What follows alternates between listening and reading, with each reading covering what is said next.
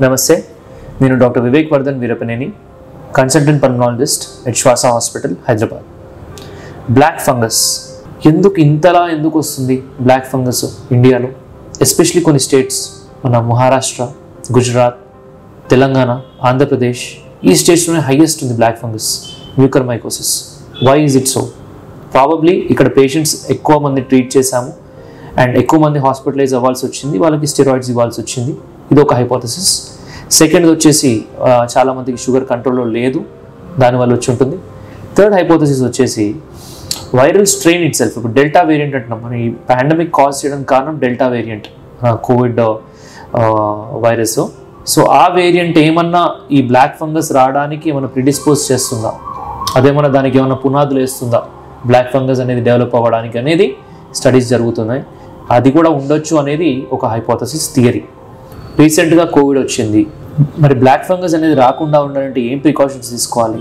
రీసెంట్గా కోవిడ్ వచ్చింది. షుగర్ ఉంది. కంట్రోల్ లేదు. నాకు బ్లాక్ ఫంగస్ వస్తుందా అనే డౌట్ మీకు ఉండొచ్చు.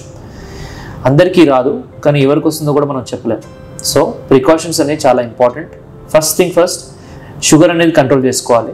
Immediately consult your physician online or offline and get your sugars under control sugars అని ఇమీడియట్లీ కంట్రోల్లోకి తెచ్చుకోండి.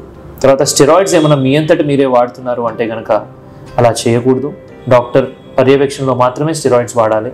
అండ్ స్టిరాయిడ్స్ అనేది హై డోస్ వాడిన తర్వాత నిదానంగా డోస్ తగ్గించి ఆపుతారు డాక్టర్స్. అలానే ఫాలో అవ్వండి. లో డోస్కి వచ్చేసిన తర్వాత ఆపేసేయండి.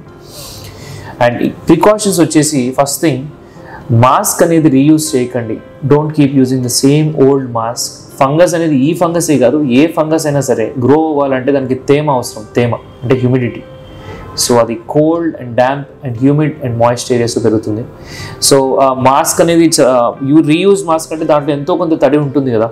సో ఆ తడి దగ్గరే పెరుగుతుంది ఫంగస్ అనేది. So don't reuse the masks second thing hygiene is very important hygiene అంటే మన ఈవెన్ కులిపోయిన కూర కూరగాయల్లో కూడా ఇది పెరగచ్చు ఈ ఫంగస్ అనేది. సో అవి కూడా కొంచెం ఉండకుండా ఫ్రూట్స్ కూడా రాటన్ ఫ్రూట్స్ కానీ వెజిటబుల్స్ కానీ తినకుండా సో జాగ్రత్తగా చేయడం ఆ పర్సన్ని ఆ దగ్గరలోకి రానివ్వకపోవడము. అండ్ సాయిల్లో ఉంటుంది fungus. Very highly abundant in soil మన మట్టిలో. సో యూజువలీ గార్డెనింగ్ కానీ లేకపోతే మట్టిలో కానీ వెళ్ళకుండా so all these precautions have to be taken ఇవన్నీ జాగ్రత్తలు తీసుకుంటే కనుక అది వచ్చే అవకాశం తక్కువ షుగర్ కంట్రోల్లో ఉండి. అండ్ ఈ ప్రికాషన్ తీసుకుంటే. బట్ వచ్చిన తర్వాత మాత్రం ఇంకా లేట్ చేయడానికి ఎటువంటి ఆస్కారం లేదు. వెంటనే డాక్టర్ని కన్సల్ట్ అవ్వండి. We'll be covering uh, all topics which commonly affect patients on a day to day basis. For more this type of doctor advices or opinion or any other things, దయచేసి doctors advice channel like చేయండి comment చేయండి share చేయండి subscribe to this channel, Doctor's Advice. పది మందికి ఉపయోగపడేలాగా చూడండి thank you so much